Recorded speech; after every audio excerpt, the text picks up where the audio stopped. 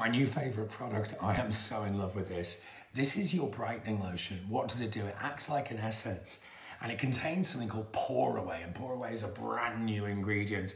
And basically just by smoothing this over your skin, you immediately mattify the skin, but you're also brightening in it. So it's so much more than a primer.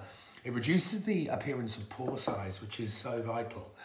But it can be used on those no makeup days as well, girls, which is which means that it's it's totally, totally versatile.